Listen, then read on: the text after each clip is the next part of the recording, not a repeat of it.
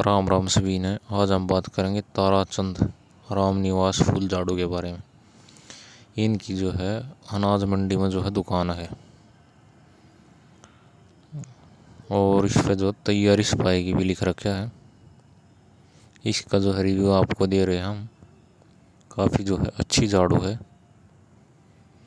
Price जो है इसका एक सौ चालीस रुपये है। ये जो आपको सौ रुपये तक आपको अनाज मंडी में जो है मिल जाएगी। काफ़ी जो अच्छा ब्रांड है। और अपने प्रोडक्ट का प्रमोशन करवाने के लिए जो है, नवासी तीस छः छसठ चौबीस, अठावन पर जो है कॉल करें।